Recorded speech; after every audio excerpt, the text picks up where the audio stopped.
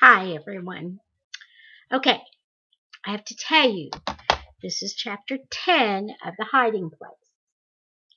And the title of this chapter is Scheveningen. I know, it looks like Scheveningen. But in Dutch, it's Scheveningen. Now, the reason I know that is that I lived a mile from this place. When I was a kid, when I was a teenager, we lived in the Netherlands and we lived on Waalsdorperweg in Scheveningen. Actually, it was Den Haag, but basically we were one mile from this prison that Corrie and her family are taken to. So, this chapter is um, very dear to my heart, um, and I know this place. So, um, yep, here we go. Chapter 10 Scheveningen.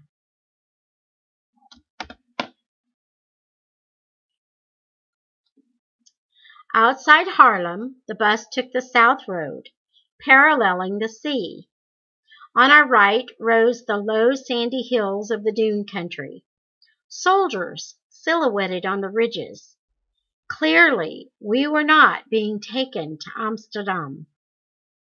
A two-hour drive brought us instead to the streets of The Hague, in Dutch, Den Haag. The bus stopped in front of a new functional building. Word was whispered back that this was Gestapo headquarters for all of Holland. We were, excuse me, we were marched, all but Pickwick, who seemed unable to rise out of his seat, into a large room where the endless process of taking down names, addresses, and occupations began all over again. On the other side of the high counter, running the length of the room, I was startled to see that both Willemse and Kaptein, as each of the prisoners from Haarlem reached the desk, one or the other would lean forward and speak to a man seated at a typewriter, and there would be a clatter of sound from the machine. Suddenly the chief interrogator's eye fell on father. "That old man!" he cried. Did he have to be arrested? You, old man! Willem led father up to the desk. The Gestapo chief leaned forward. I'd like to send you home, old fellow, he said. I'll take your word that you won't cause any more trouble. I could not see father's face, only the erect carriage of his shoulders and the halo of white hair above them. But I heard his answer. If I go home today, he said evenly and clearly, tomorrow I will open my door again to any man in need who knocks. The amiability drained from the other man's face. Get back in line, he shouted. Schnell! This court will tolerate no more delays. But delay seemed all that this court existed for. As we inched along the counter, there were endless repetitions of questions, endless consulting of papers, endless coming and going of officials. Outside the windows, the short winter day was fading. We had not eaten since the rolls and water at dawn. Ahead of me in line, Betsy answered, Unmarried, for the twentieth time that day. Number of children? droned the interrogator. I'm unmarried, Betsy repeated. The man did not even look up from his papers. Number of children, he snapped. No children, said Betsy resignedly. Toward nightfall, a stout little man wearing the yellow star was led past us to the far end of the room. A sound of scuffling made us all look up. The wretched man was attempting to hold on to something clutched in his hands. It's mine, he kept shouting. You can't take it! You can't take my purse! What madness possessed him? What good did he imagine money would do him now?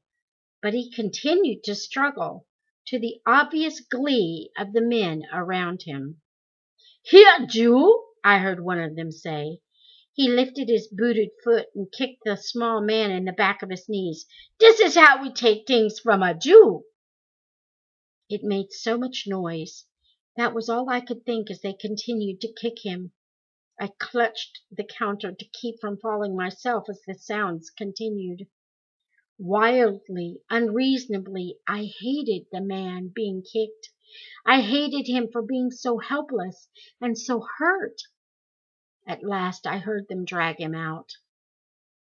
Then all at once I was standing in front of the chief questioner. I looked up and met Kaptein's eyes just behind him. This woman was the ringleader, he said. Through the turmoil inside me, I realized it was important for the other man to believe him. What Mr. Kaptein says is true, I said. These others, they know nothing about it. It was all my name, the interrogator inquired imperturbably. Cornelia ten Boom, and I'm the age fifty-two. The rest of these people had nothing to do. Occupation. But I've told you a dozen times, I burst out in desperation. Occupation? he repeated. It was dark night when we were marched at last out of the building. The green bus was gone. Instead, we'd made out the bulk of a large canvas-roofed army truck. Two soldiers had to lift father over the tailgate. There was no sign of Pickwick. Father, Betsy, and I found places to sit on a narrow bench that ran around the sides. The truck had no springs and bounced roughly over the bomb-pitted streets of The Hague. I slipped my arm behind father's back to keep him from striking the edge. Willem, standing near the back, whispered back what he could see of the blacked-out city. We had left the downtown section and seemed to be headed west toward the suburb of Scheveningen. That was our destination then, the federal penitentiary, named after the seaside town. The truck jerked to a halt. We heard a screech of iron. We bumped forward a few feet and stopped again. Behind us, a massive behind us, massive gates clanged shut. We climbed down to find ourselves in an enormous courtyard surrounded by a high brick wall. The truck had backed up to a long, low building. Soldiers prodded us inside. I blinked in the white glare of bright ceiling lights. Nothing gegen Mauer! Noses to the wall. I felt a shove from behind and found myself staring at a crack at cracked plaster. I turned my eyes as far as I could. First left, then right. There was Willem, two places away from him Betsy. Next to me on the other side was Toos, all like me, standing with their faces to the wall. Where was father? There was an endless wait while the scars on the wall before my eyes became faces, landscapes, animal shapes. Then somewhere to the, to the right a door opened. Women prisoners, follow me. The matron's voice sounded as metallic as a squealing door. As I stepped away from the wall, I glanced swiftly around the room for father. There he was, a few feet out from the wall, seated in a straight-backed chair. One of the guards must have brought it for him. Already the matron was staring down the long corridor that I could see through the door, but I hung back, gazing desperately at Father Willem Peter, all our brave underground workers. Father, I cried suddenly, God be with you. His head turned toward me. The harsh overhead light flashed from his glasses.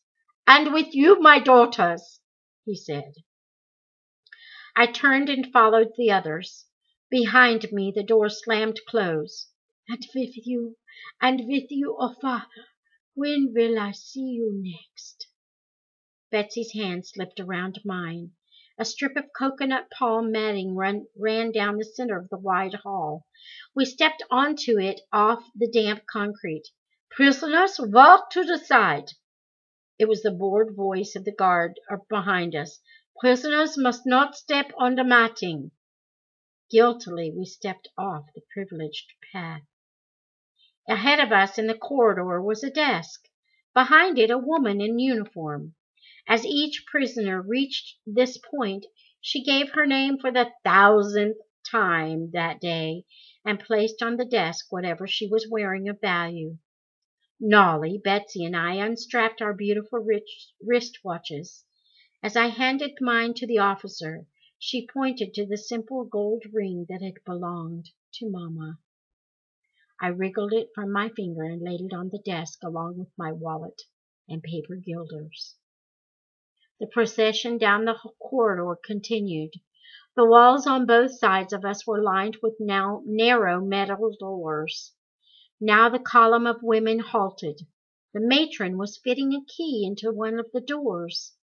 We heard the thud of a bolt drawn back, the screech of hinges. The matron consulted a list in her hand, then called the name of a lady I didn't even know, one of those who had been at Willem's prayer meeting. Was it possible that that had been only yesterday? Was this only Thursday night? Already the events at the Beje seemed part of another lifetime. The door banged shut. The column moved on.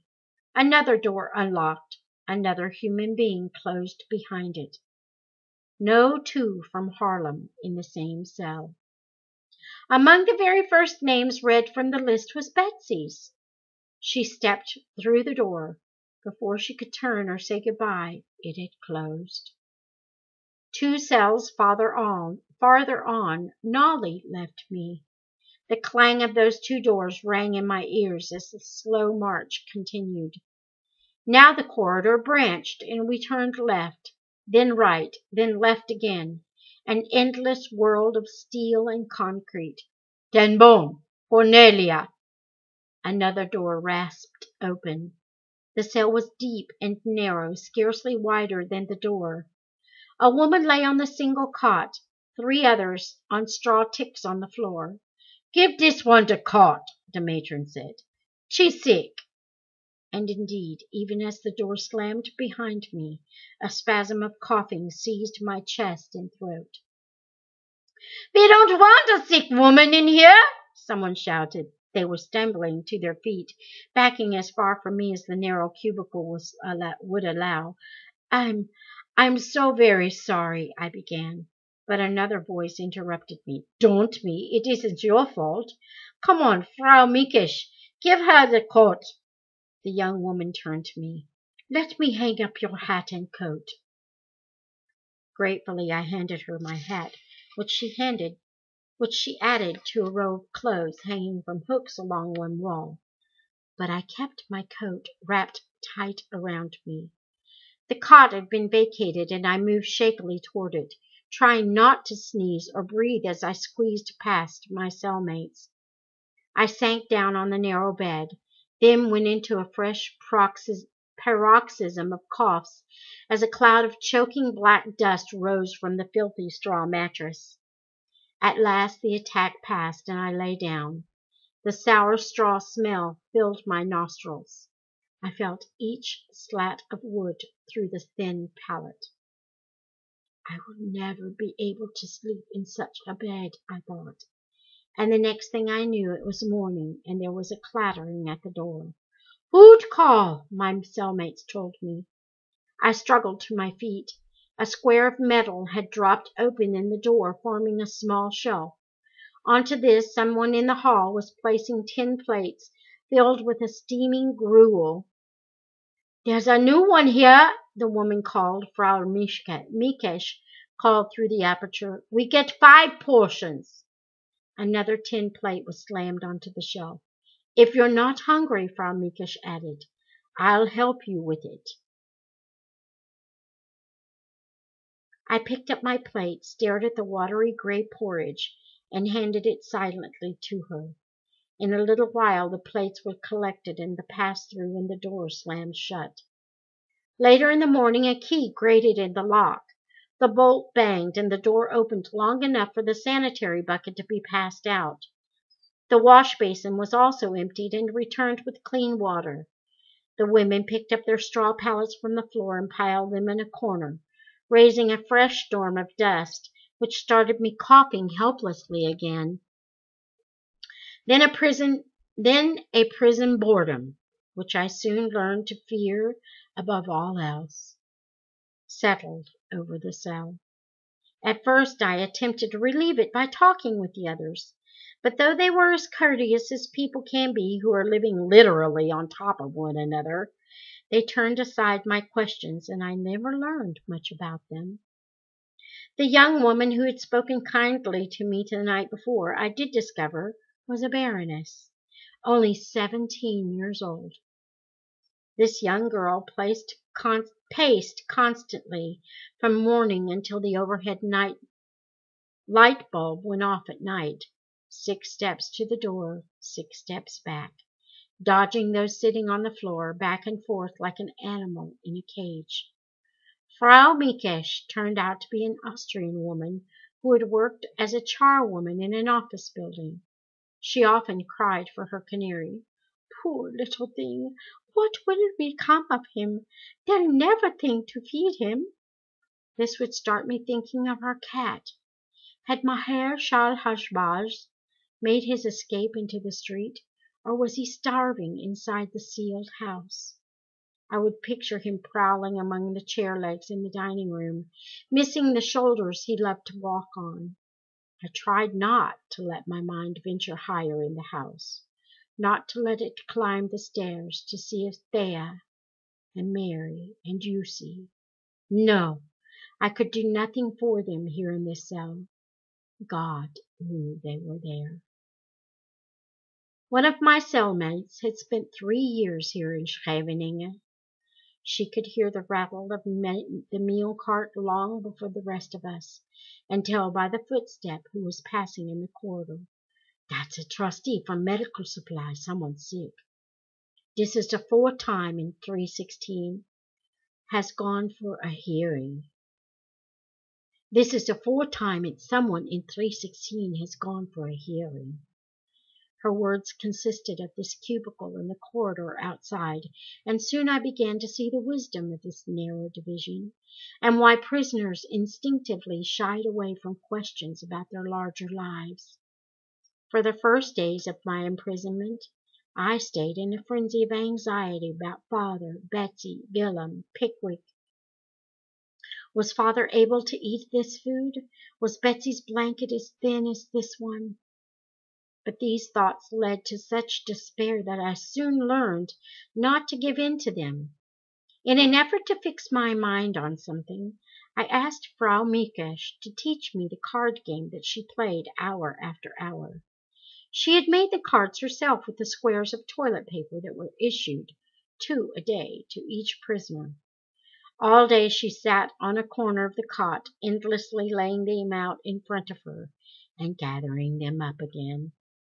I was a slow learner, since no cards of any kind had been played at the Beje. Now, as I began to grasp the solitaire game, I wondered what father's resistance to them had been. Surely nothing could be more innocent than this succession of shapes called clubs, spades, diamonds. But as the days passed, I began to discover a subtle danger. When the cards went well, my spirits rose.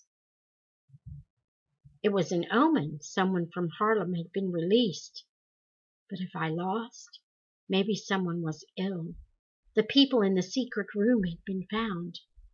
At last I had to stop playing. In any case, I was finding it hard to sit up so long. Increasingly I was spending the days as I did the nights, tossing on the thin straw pallet, trying in vain to find a position in which all aches at once were eased. My head throbbed continually, pain shot up and down my arms, my cough brought up blood. I was thrashing feverishly on the cot one morning when the cell door opened and there stood the steel voiced matron I had seen the night I entered the cell two, two weeks before. Ten Boom, Cornelia. I struggled to my feet. Bring your hat and your coat and come with me. I looked around at the others for a hint as to what was happening. You're going to the outside, our prisoner expert said. When you take your hat, you always go outside. My coat was wearing already. I was wearing already, but I took my hat from its hook and stepped out into the corridor. The matron relocked the door, then set off so rapidly that my heart hammered as I trotted after her, careful to stay off the precious matting. I stared yearningly at the locked doors on either side of us. I could not remember behind which ones my sisters had disappeared. At last we stepped out into the broad, high-walled courtyard. Sky! For the first time in two weeks, blue sky. How high the clouds were, how inexpressibly white and clean. I remembered suddenly how much sky had meant to Mamma. Quit! Snapped the matron. I hurried to the shiny black automobile beside which she was standing. She opened the rear door and I got in. Two others were already in the back seat a soldier, and a woman with a gaunt gray face. In front, next to the driver, slumped a desperately ill-looking man whose head lolled strangely on the seat back. As the car started up, the woman beside me lifted a blood-stained towel to her mouth and coughed into it. I understood. The three of us were ill. Perhaps we were going to a hospital. The massive prison gate opened and we were in the outside world, spinning along broad city streets. I stared in wonderment through the window. People walking, looking into store windows, stopping to talk with friends. Had I truly been as free as that only two weeks ago? The car parked before an office building. It took both the soldier and the driver to get the sick man up the three flights of stairs. We entered a waiting room, jammed with people, and sat down under the watchful eyes of a soldier. When nearly an hour had passed, I asked permission to use the lavatory. The soldier spoke to the trim white uniformed nurse behind the reception desk. Way, she said crisply.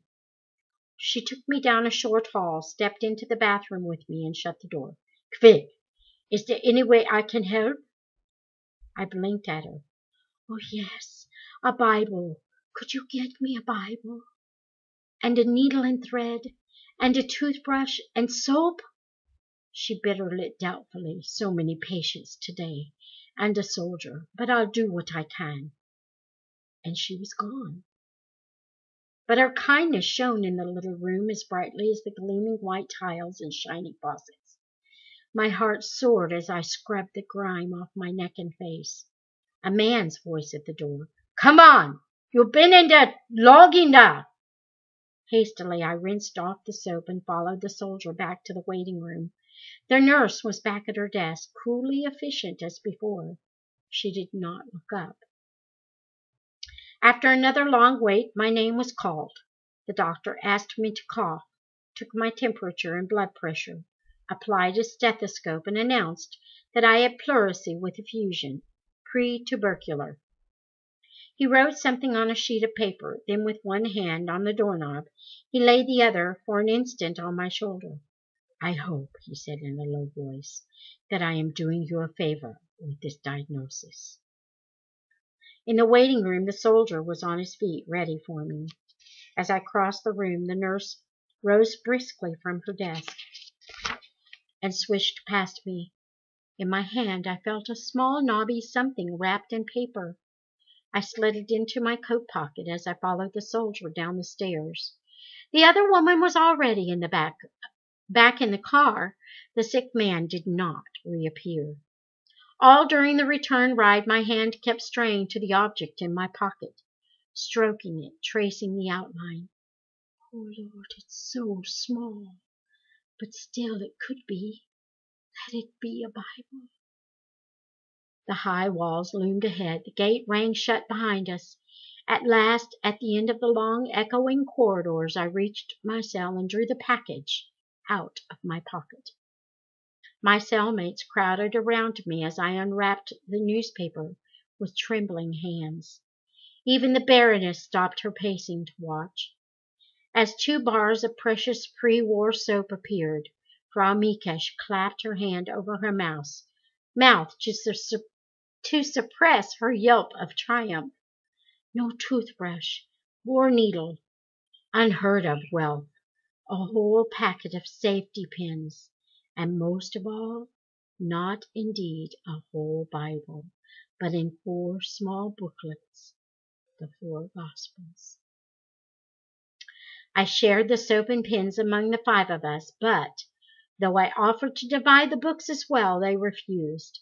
They catch you with those, the knowledgeable one said, and it's double sentence, and kalte kost at well as well kalte kost, the bread ration alone without the daily plate of hot food, was the punishment constantly held over our heads.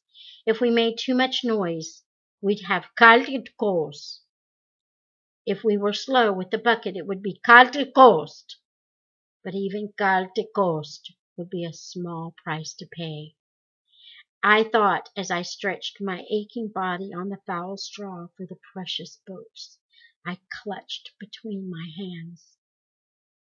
It was two evenings later, near the time when the light bulb usually flickered off, that the cell door banged open and a guard strode in. Ten Boom, Cornelia, she snapped. Get your things. I stared at her, an insane hope rising in me. You mean silence, no talking. It did not take long to gather my things. My hat and an undervest that was drying after a vain attempt to get it clean in the much used basin water. My coat, with the precious contents of its pockets, had never yet been off my back. Why such strict silence? I wondered. Why should I not be allowed to even say goodbye to my cellmates? Would it be so very wrong to guard for a guard to smile now and then, or give a few words of explanation? I said farewell to the others with my eyes and followed the stiff-backed woman into the hall. She paused to lock the door, then marched off down the corridor. But the wrong way. We were not heading toward the outside entrance at all, but deeper into the maze of prison passageways. Still without a word, she halted in front of another door and opened it with a key. I stepped inside. The door clanged behind me. The bolt slammed shut. The cell was identical with the one I had just left, six steps long, two wide, a single cot at the back. But this one was empty. As the guard's footsteps died away down the corridor, I leaned against the gold metal door. Alone. Alone behind these walls. I must not let my thoughts run wildly. I must be very mature and very practical. Six steps. Sit down on the cot. This one reeked even worse than the other. The straw seemed to be fermenting. I reached for the blanket. Someone had been sick on it. I thrust it away, but it was too late. I dashed for the bucket near the door and leaned weakly over it. At that moment the light bulb in the ceiling went out. I groped back to the cot and huddled there in the dark, setting my teeth against the stink in the bedding, wrapping my coat tighter about me. The cell was bitter cold. Wind hammered against the wall. This must be near the outside edge of the prison. The wind had never shrieked so in the other one. What had I done to be separated from people this way? Had they discovered the conversation with the nurse at the doctor's office? Or perhaps some of the prisoners from Haarlem had been interrogated and the truth about our group was known. Maybe my sentence was solitary confinement for years and years. In the morning my fever was worse. I could not stand.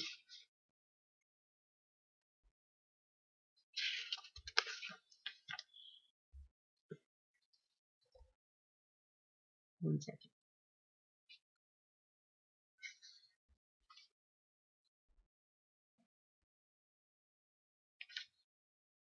I could not stand long enough to get my food from the shelf in the door, and after an hour or so, the plate was taken away untouched. Toward evening the pass through dropped open again, and the hunk of coarse prison bread appeared. By now I was desperate for food, but less able to walk than ever. Whoever was in the hall must have seen the problem. A hand picked up the bread and hurled it toward me. It landed on the floor beside the cot where I clawed for it and gnawed it greedily. For several days, while the fever raged, my supper was delivered in this manner. Mornings the door squealed open and a woman in a blue smock carried the plate of hot gruel to the cot. I was as starved for the sight of a human face as for the food, and I tried in a hoarse croak to start a conversation. But the woman, obviously a fellow prisoner, would only shake her head with a fearful glance toward the hall. The door also opened once a day to let the trustee from the medical supply with a dose of some stinging yellow liquid from a very dirty bottle. The first time he entered the cell, I clutched at his sleeve. Please, I rasped. Have you seen an eighty-four-year-old man, white hair, a long beard? Casper ten Boom, you must take him medicine. You must have taken medicine to him. The man tugged loose. I don't know. I don't know anything. The cell door slammed back against the wall, framing the guard. Solitary prisoners are not permitted to talk. If you say another word to one of the work duty prisoners, it will be called a ghost for the duration of your sentence. And the door banged behind the two of them. This same trustee was char also charged with recording my temperature each time he came. I had to take off my shirt and place the thermometer between my arm and the side of my body. It did not look to me like an accurate system. Sure enough, by the end of the week, an irritable voice called through the food slot, Get up and get the food yourself. Your fever's gone. You won't be waited on again. I felt sure that the fever had not gone, but there was nothing for it but to creep trembling to the door for my plate. When I had replaced it, it would I would lie down again on the smelly straw, steeling myself for the bawling out I knew would come. Look at the great lady back in bed again. Are you going to lie there all day long? Why, lying down was such a crime I could never understand, nor indeed what one was supposed to accomplish if one got up. Thoughts now that I was alone were, e were a bigger problem than ever. I could no longer even pray for family and friends by name. So great was the fear and longing wrapped around each one. Those I love, Lord, I would say, you know them. You see them. Oh, bless them all. Thoughts were enemies. That prison bag. How many times I opened it in my mind and pawed through all the things I had left behind. A fresh blouse, an aspirin, a whole bottle of them, toothpaste with a kind of pepperminty taste, and then I would catch myself. How ridiculous such thoughts! If I had to do it again, would I really put these little personal comforts ahead of my of human lives? Of course not. But in the dark nights, as the wind howled and the fever pulsed, I would draw that bag out of some dark bag out of some dark corner of my mind and root through it once again. A towel to lay on the scratchy straw, an aspirin in only one way was this new cell an improvement over the first one. It had a window. Seven iron bars ran across it, four bars up and down. It was high in the wall, much too high to look out of, but through those twenty-eight squares I could see the sky. All day I kept my eyes fixed on that bit of heaven. Sometimes clouds moved across the squares white or pink or edged with gold, and when the wind was from the west I could hear the sea. Best of all, for nearly an hour each day, gradually lengthening as the spring sun rose higher, a shaft of checkered light streamed into the dark little room. As the weather turned warm and I grew stronger, I would stand up to catch the sunshine on my face and chest, moving along the wall with the moving light climbing at last onto the cot to stand on tiptoe in the final rays. As my health returned, I was able to use my eyes longer. I had been sustaining myself from my scriptures a verse at a time. Now, like a starving man, I gulped entire gospels at a reading, seeing whole the magnificent drama of salvation. As I and as I did, an incredible thought prickled the back of my neck. Was it possible that this, all of this seemed so wasteful and so needless. This war, Scheveningen prison, this very cell, none of it was foreseen or accidental. Could it be part of the pattern first revealed in the Gospels?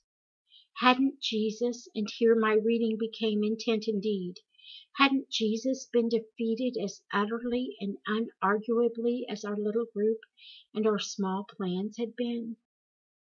But if the Gospels were truly the pattern of God's activity, then defeat was only the beginning.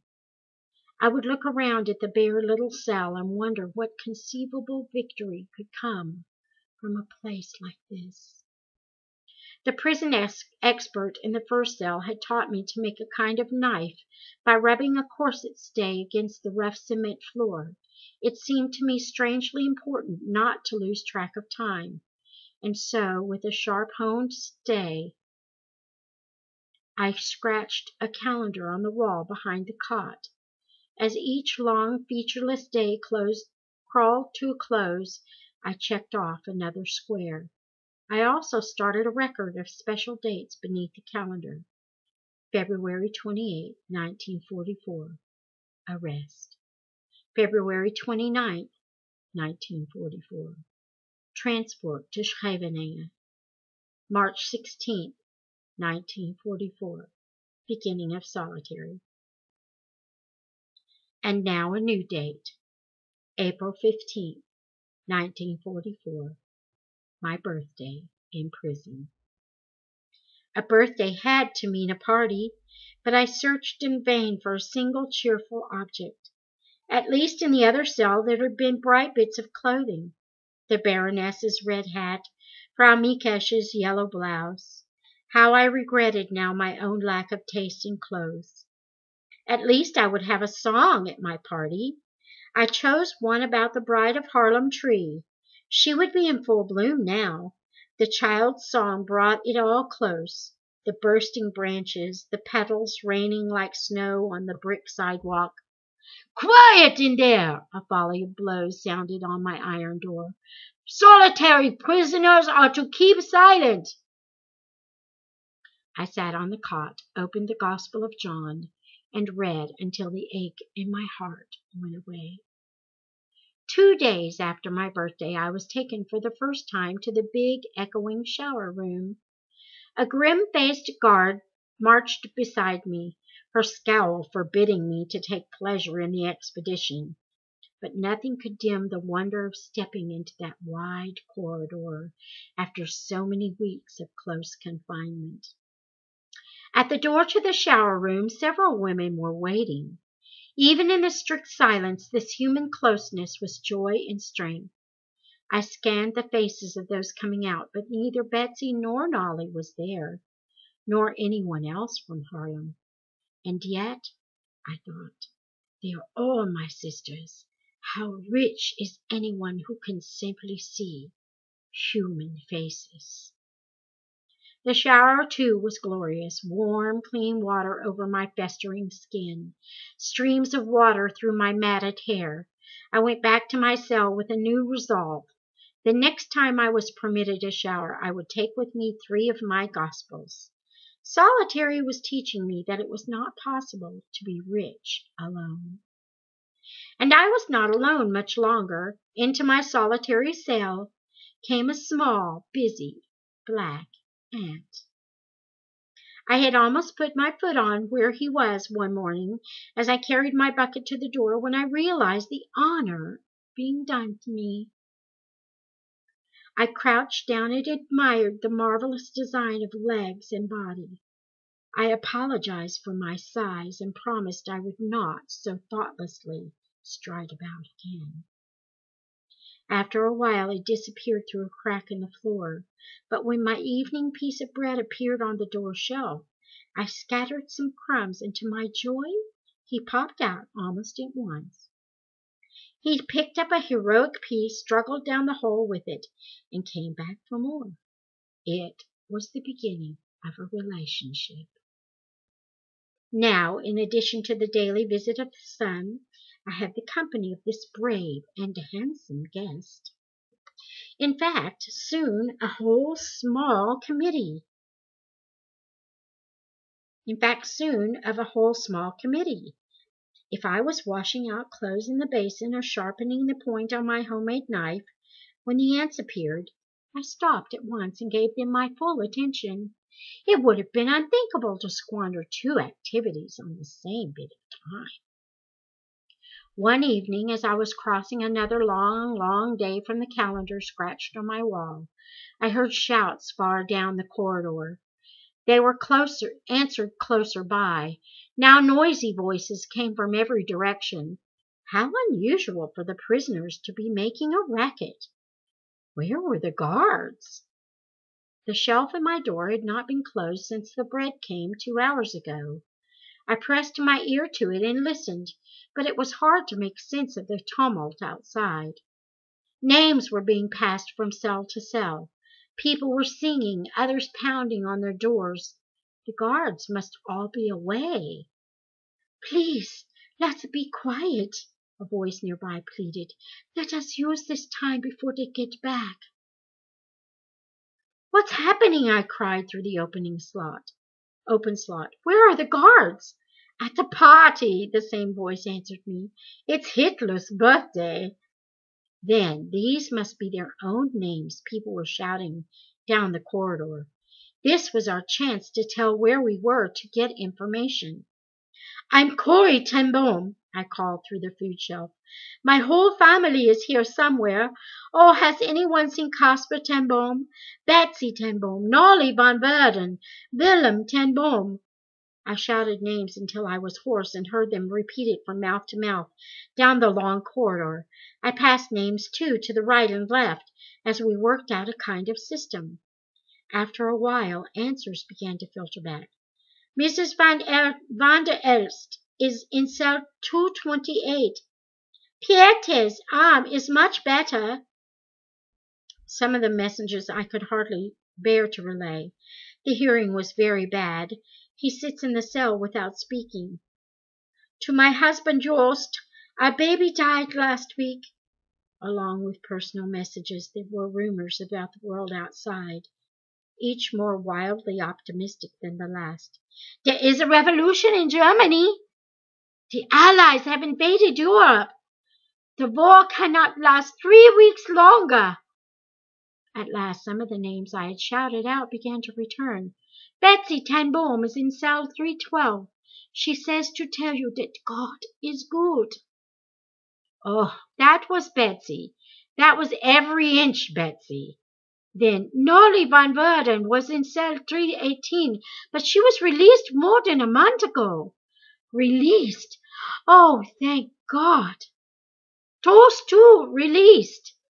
News from the men's section was longer in returning, but as it did my heart leaped higher and higher. Peter van Woerden, released. Herman Sluring, released. Willem ten Boom, released. As far as I could discover, every single one taken in the raid on the Beje, with the exception of Betsie and me, had been freed. Only about father could I discover no news at all. Although I called his name over and over into the murmuring hall, no one seemed to have seen him. No one seemed to know. It was perhaps a week later that my cell door opened and a prison trustee tossed a package wrapped in brown paper onto the floor.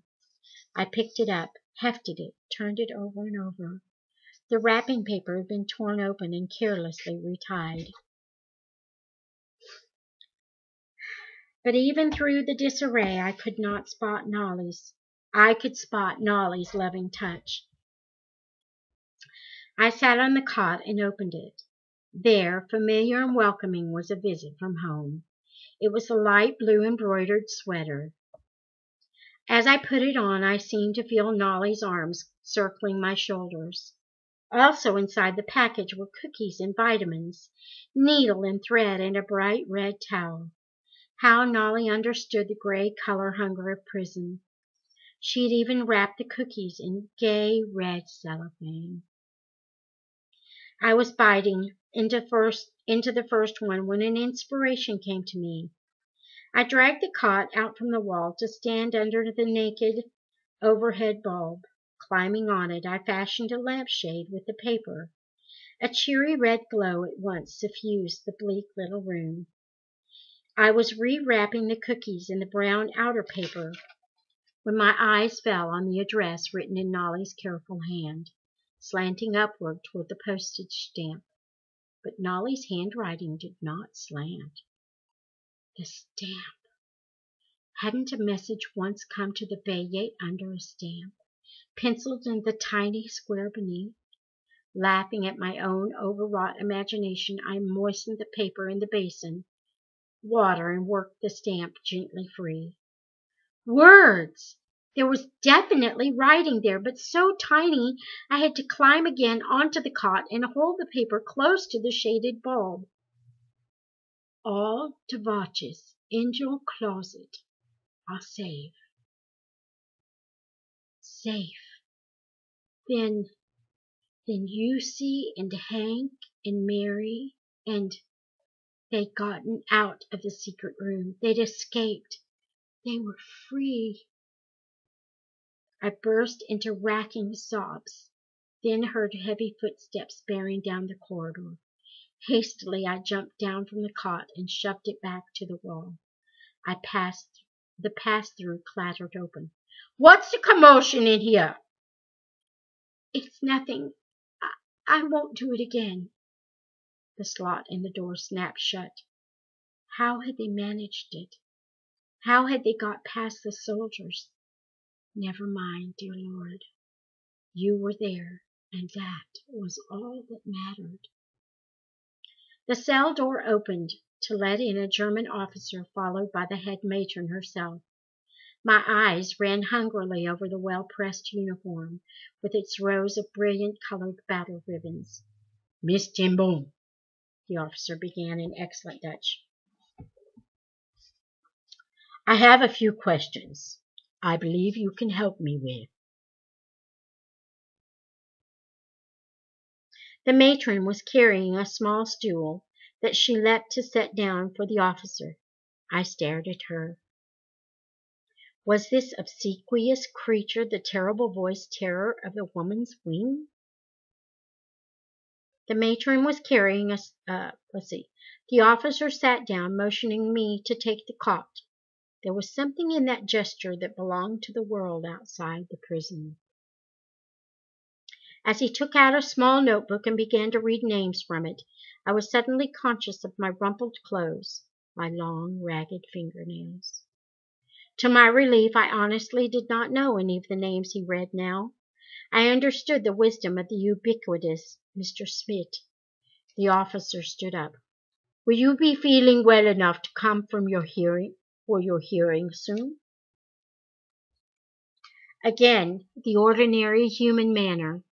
Yes, I I hope so. The officer stepped out on, into the hall the matron bobbing and scurrying after him with the stool. It was the third of May. I was sitting on my cot sewing. Since Nollie's package had been delivered, I had a wonderful new occupation. One by one I was pulling the threads from the red towel, and with them embroidering bright figures on the pajamas that I had only recently stopped wearing beneath my clothes. A window with ruffled curtains, a flower with an impossible number of petals and leaves. I had just started work on the head of a cat over the right, pocket when the food shelf in the door banged open and shut with a single motion. And there on the floor of the cell lay a letter. I dropped the pajamas and sprang forward. Nollie's writing. Why should my hand tremble as I picked it up? The letter had been opened by the censors, held by them too. The postmark was over a week old, but it was a letter, a letter from home. The very first one. Why this sudden fear? I unfolded the paper. Corrie, can you be very brave? No, no, I couldn't be very brave. I forced my eyes to read on. I have news that is very hard to write to you. Father survived his arrest by only ten days. He is now with the Lord. I stood with the paper between my hands so long that the daily shaft of sunlight entered the cell and fell upon it. Father, Father, the letter glittered in the crisscross light as I read the rest. Nollie had no details, not how or where he had died, not even where he was buried. Footsteps were passing on the cocoanut matting. I ran to the door and pressed my face close to the closed pass-through. Please, oh please. The steps stopped. The shelf dropped open. What's the matter? Please, I've had bad news. Oh, please don't go away. Wait a minute. The footsteps retreated, then returned with a jangle of keys. The cell door opened. Here, the young woman handed me a pill with a glass of water. It's a sedative. This letter I just came, I explained. It says that my father, it says that my father has died. The girl stared at me. Your father, she said in astonished tones. I realized how very old and decrepit, decrepit I must look to this young person. She stood in the doorway a while, obviously embarrassed at my tears. Whatever happens, she said at last, you brought it on yourself by breaking the laws. Dear Jesus, I whispered as the door slammed and her footsteps died away. How foolish of me to have called for human help when you are here. To think that Father sees you now, face to face. To think that he and Mama are together again, walking those bright streets. I pulled the cot from the wall, and below the calendar scratched another date. March 9th, 1944 father released. And that is the end of chapter 10. Until next time, may the Lord bless you and keep you. May he make his face to shine upon you and be gracious to you. May the Lord lift up his countenance upon you and grant you his peace.